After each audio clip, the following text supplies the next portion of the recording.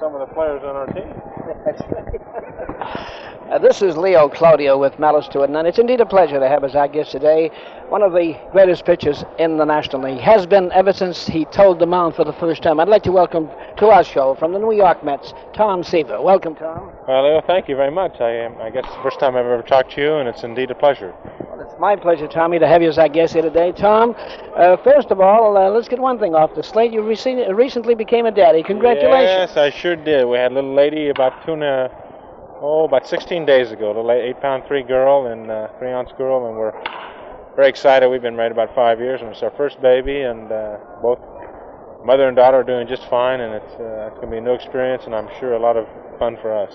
I'm sure she will be. And Tommy, you have a very lovely wife in Nancy, a tremendous girl. Thank you very much. We uh, we have a lovely home. We live in Connecticut, and uh, I have a I have a sister who lives up in the Boston area now. Moved up to Concord, I believe. Her husband's with uh, the Dunn Book Company, and uh, so they'll I think may may have to change their allegiance from Met fans to Red Sox fans pretty soon.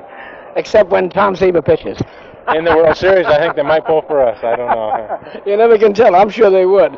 Tommy, you've been with the Mets now four full years, and you certainly have had a fantastic career. You've broken with 16 victories, 16 victories, 25 victories, and then 18. Those are tremendous years, Tom. Well, I've, I've hopefully what I'm trying for is to have a good, consistent career. I think I can pitch well for 10 more years, and and obviously with the money that they're paying me now and what the, my teammates think and the, and the people think, I I would be disappointed from now on if I don't uh, get real close or win at least 20 games a year. I think uh, I think I have the ability to do it. I think I have the strength, the stamina, and I think I have the stuff to do it. And that's what I'm going to try and do every time uh, that new season starts is to get at least 20 wins. Tommy, anyone who follows baseball, all they have to do is take one gander at you, and they can tell that you're a tremendous competitor. Well, I enjoy baseball very much. I played it from the time I was a little boy, of course, and uh, uh, I, whole, our whole family was a competitive family in athletics, and uh, it just seemed to go hand in hand. And uh, I, I have a lot of self pride, I think, when I pitch because it, I, I find nothing else that gives me the satisfaction that pitching does, and that's why I strive to do so well. And you play as though you loved it. Oh, I love the game, and it's a lot of fun for me. Yes, I don't doubt it. You certainly played in that fashion. Tommy, one of the most phenomenal things in baseball, one of the most phenomenal achievements, has to be the day that you struck out 19 batters. 19 is a lot of people, but 10 in a row is something else. Well, that was just one of those days that.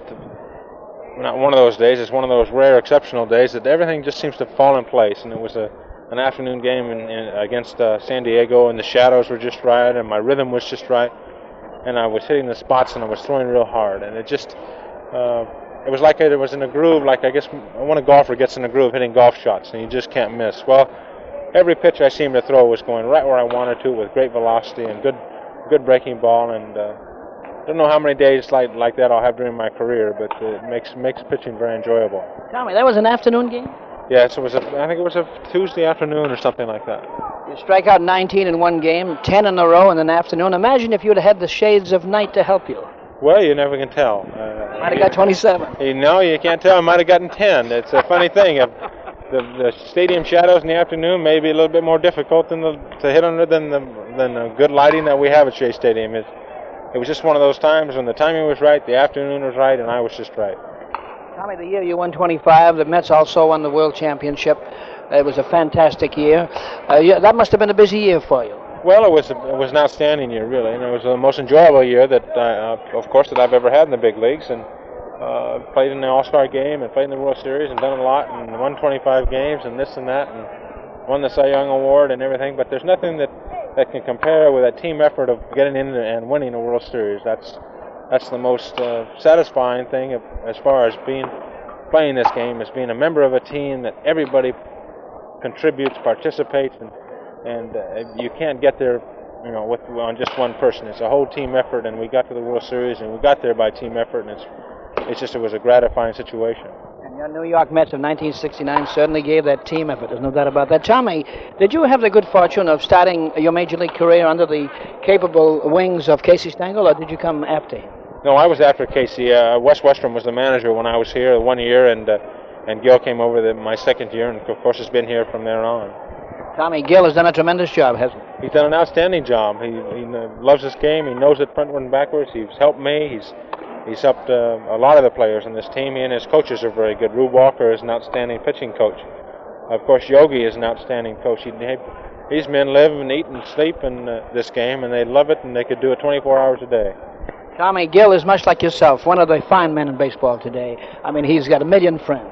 Well, thank you. Uh, uh, uh, you know, that's he's he's an outstanding man, and I enjoy playing for him very much. I don't think I could I would could play for anybody else that I would enjoy it more. I can imagine. Tommy, one more question. What do you think of the outlook, uh, or is the outlook for the Mets for 1970? Well, uh, our, our team, uh, I think, is one of the four top teams in the National League, along with Pittsburgh, uh, Cincinnati, and Los Angeles. And you know, uh, just like the Red Sox know that it takes uh, everything in one one good year, everybody to have that good year to win it, as as we proved in our year, and the Red Sox proved in their year. It's a if we get together and if some of our young kids come through and uh, uh, we play the way up to our potential and we play as a team and and everybody has that you know plays that consistent baseball, then we're going to have just as good a chance as anybody else to win it. Tommy, come February 2nd, 1972, we in Manchester will be holding our 24th annual baseball dinner, which is recognized as the largest in the country. And I want to take this opportunity to extend to you an invitation to be with us as a guest of honor. Well, thank you. I hope so. I hope I'll be able to fit it in. I'll keep in touch with you all summer. Okay, very good. Very good. thank you very much, Tommy.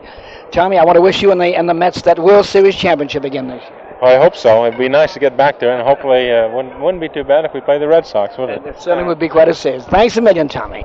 This was an interview with Tom Seaver, the star right-handed pitcher of the New York Mets, and this brings us to the end of with Malice Stewart. And then for today, until the next time, Leo Cloutier, good day. Thanks a million, Tommy. You're welcome. Good luck to you. Thank you. I'll see plenty. Brought to you by Posterfix.